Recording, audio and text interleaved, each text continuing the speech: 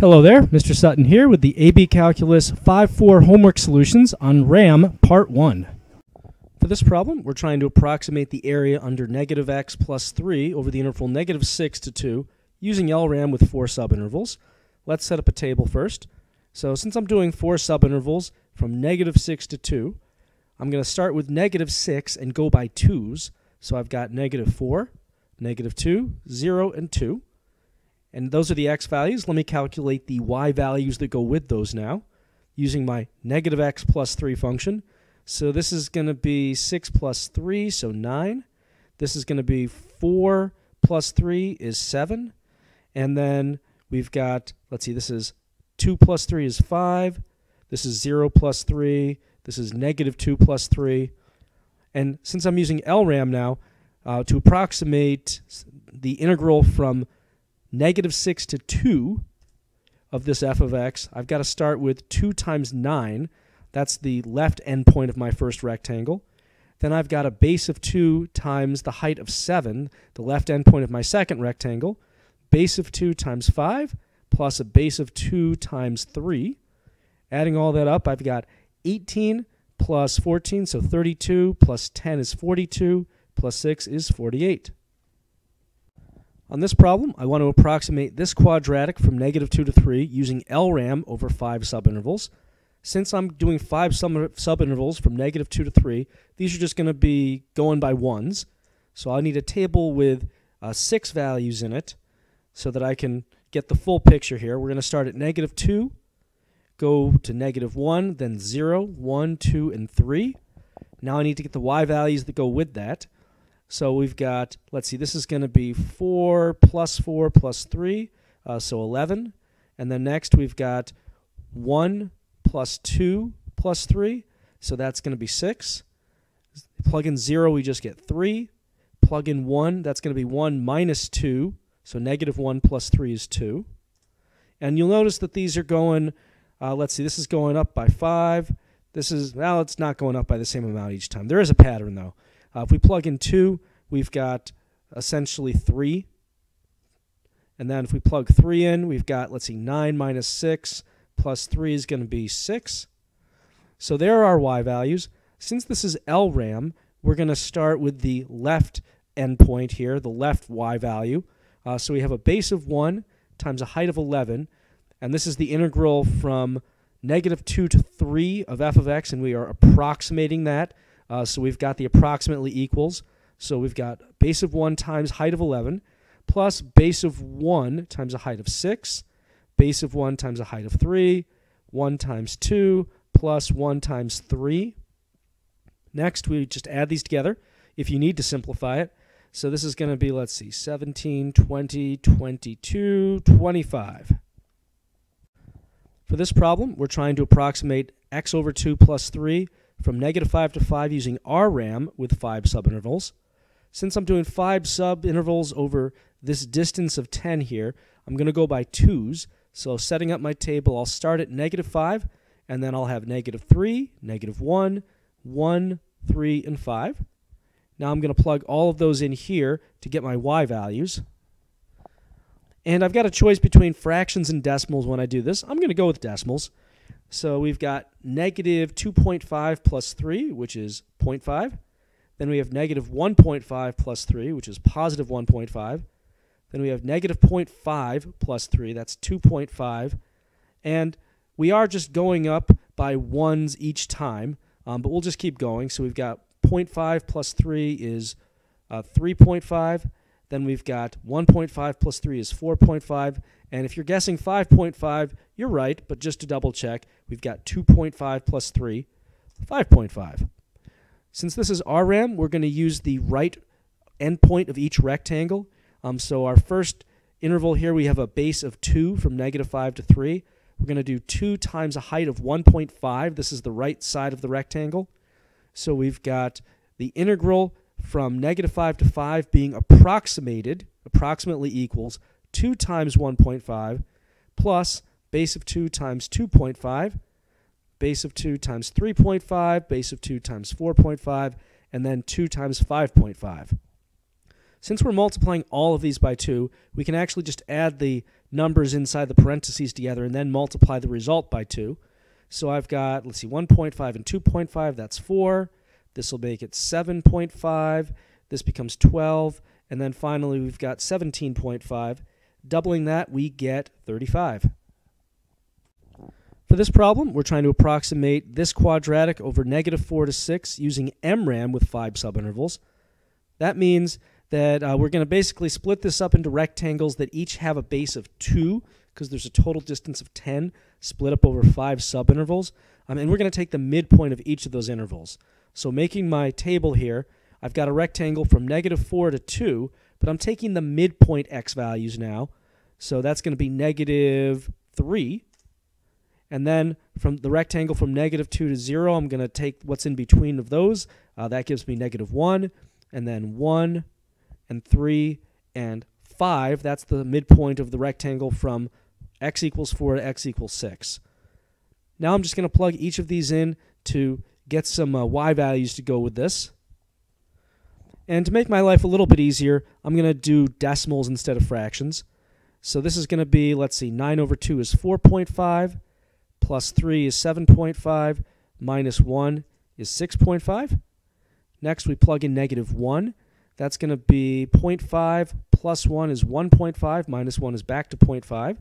Plugging in positive 1, that's going to be 0.5 minus 1 is negative 0.5 minus another 1, negative 1.5.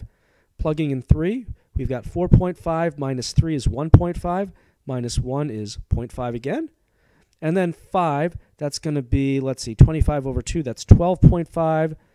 Minus 5 is 7.5, minus 1 is 6.5. Um, so it's got the symmetry that we would expect from a quadratic. Now we're going to have to go ahead and calculate our rectangle areas. So we've got a base of 2 for each of these rectangles. So for the first one, we've got 2 times 6.5, and we're approximating the integral from negative 4 to 6 of f of x here. So we're doing 2 times 6.5. Note the approximately equals here because we're approximating. Then we've got 2 times 0.5, 2 times negative 0.5, 2 times 0.5 again, and 2 times 6.5. Since all these are being multiplied by 2, I'm just going to add the decimals together and then multiply the end result by 2. So 6.5 plus 0.5 is 7. Uh, let's see, we've got minus 1.5. That's going to be 5.5, 6, and then adding 6 and 6.5, that's 12.5. Doubling that, I get 25.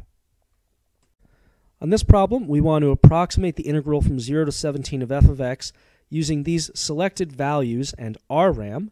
Since we're using RRAM, we're going to use the right endpoint of each rectangle that we can form out of here. So we have a rectangle going from 0 to 7, that's a base of 7, and we're going to use the right y value here. So that's going to be 7 times 4.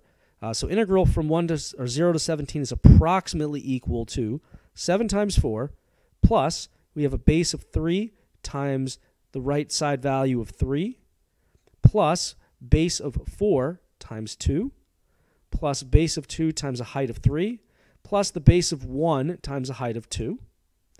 Adding all this up, this is 28 plus 9 is 37 plus 8 is going to be 45 plus 6 is 51 plus another 2 is 53.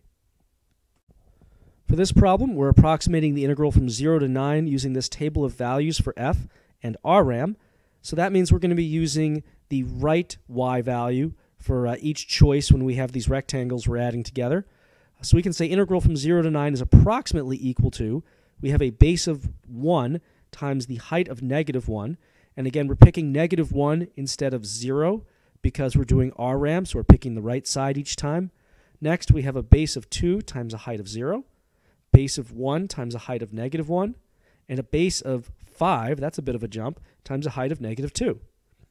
Adding all this up, we've got negative 1, 0 doesn't matter, another negative 1, so that's negative 2, plus a negative 10 is negative 12. For this problem, we want to approximate the integral from 0 to 14 of f which is given in this table, at least selected values, and we're using LRAM.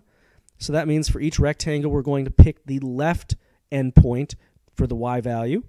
Uh, so let's approximately equal this to a base of 1 times a height of negative 3 for my first rectangle. And then we have a base of 6 times negative 5, because that, again, is the left side of the rectangle, the left y value choice. Next, we've got base of 3 times a height of negative 3. Another base of 3 times a height of negative 1. And then a base of 1 times a height of negative 2. So adding these up now, this is going to be, let's see, negative 3 plus negative 30, so that's negative 33. That becomes negative 42, negative 45, negative 47. For this problem, we're approximating 0 to 10 integral of f, which has some selected values in the table.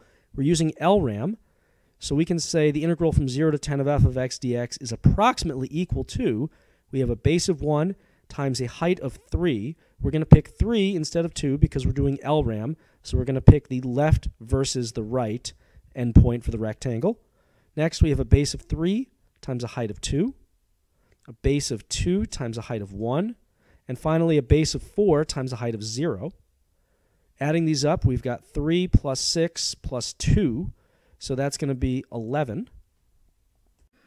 For number 9, we're given a continuous function defined by a table, and we want to approximate with a left Riemann sum, so LRAM, of 0 to 50, using these subintervals here, basically what we have in the table.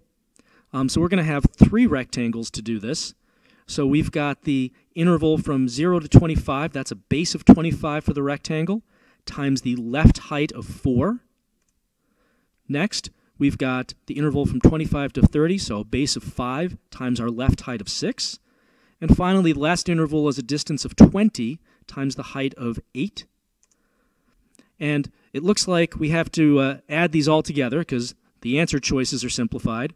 So this is 100 plus 30 is 130 plus 160 is going to be 290.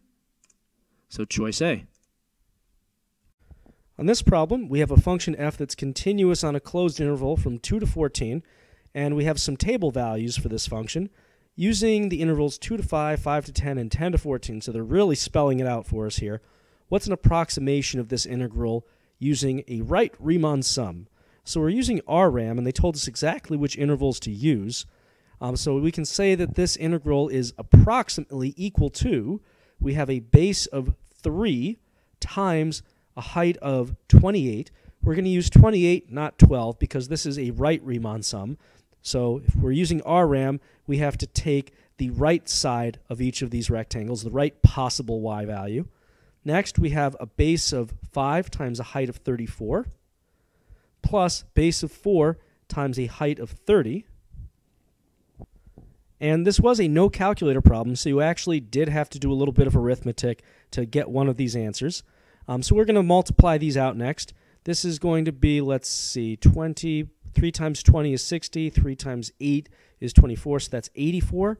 This one is going to be, let's see, we've got uh, 5 times 30 is 150, 5 times 4 is 20, so uh, 170 plus 120. I'm going to add the 170 and 120 first. That's going to be 290. And then this will come out to, let's see, 374. Gives us answer choice D. On this problem, the function f is continuous on a closed interval from 0 to 6 and has the tables given in this value here. Using the intervals 0 to 2, 2 to 4, and 4 to 6, we want the approximation obtained from a midpoint Riemann sum. So if we're doing midpoints, uh, that means that we are using the x values 1, 3, and 5. Those are the, the midpoint x values, and we want the y values that go with those. So that would be 5, negative 1, and 0. So approximating this, this is going to approximately equal, we have a base of 2 times a height of 5. Again, we're using the middle heights here.